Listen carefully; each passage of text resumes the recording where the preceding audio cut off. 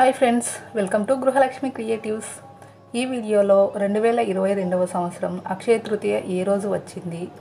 ఏ రోజు పూజ చేసుకుంటే మంచిది?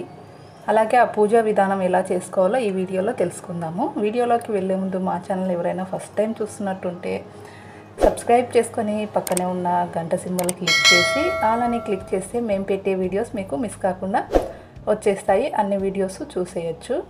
ఇప్పుడు అక్షయ తృతీయ ఏ రోజు జరుపుకోవాలి? ఈ రెండు వేల ఇరవై రెండవ సంవత్సరము మూడవ తారీఖు అంటే ఈ నెల మూడవ తారీఖు మంగళవారం అవుతుంది. మంగళవారం రోజు తెల్లవారుజామున ఐదు గంటల నుండి పన్నెండు గంటల లోపు పూజా విధానం చేసుకోవచ్చు.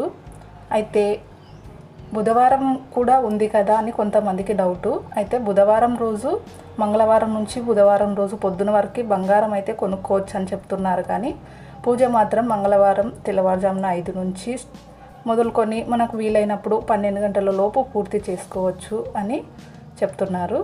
అయితే ఈ పూజ ఎలా చేసుకోవాలి? అలాగే ఎప్పుడూ చేయని వాళ్ళు కొత్తగా చేసుకునే వాళ్ళకు కూడా తెలియదు కాబట్టి నేను చెప్తున్నాను. ఎలాగైనా చేసుకోవచ్చండి. మనస్ఫూర్తిగా చేసుకునే పూజకి. ఆ రోజు అక్షయ తృతీయ కదా బంగారం కొనుక్కోవాలి కదా. బంగారం కొనుక్కొచ్చే పూజ చేసుకోవాలా? ఇలాంటి డౌట్స్ ఉంటాయి కదా. అలా ఏం లేదు. మనకు వీలైనంతలో కుదిరితే బంగారం కొనుక్కొచ్చి పూజ చేసుకోవచ్చు. అమ్మవారికి బంగారం అంటే చాలా ఇష్టం కాబట్టి. లేదు బంగారం కొనడం మనకు కుదరడం లేదు అంటే అమ్మవారు సముద్రంలో పుట్టారు కాబట్టి ఉప్పు కొనుక్కొచ్చి కొత్త ప్యాకెట్ ఉప్పు ఉప్పు కొనుక్కొచ్చి ఉప్పు నైవేద్యంగా పెట్టి ఆ ఉప్పుని మనము కూరల్లో వాడుకోవచ్చు. అలా కూడా ఉప్పుతో నైవేద్యంగా పెట్టి కూడా పూజ చేసుకోవచ్చు.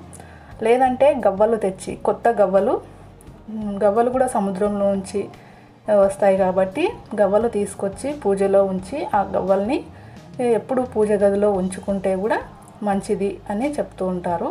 సో మనకు తోచినంతలో బంగారం కొనుక్కొచ్చి కానీ లేదంటే ఉప్పు కానీ గవ్వలు కానీ వీటితో ఎలాగైనా పూజించుకోవచ్చు. అలాగే ఆ రోజు పసుపు కుంకుమ తాంబూలం అలాంటివి దానం ఇవ్వడం మంచిది అని చెప్తారు.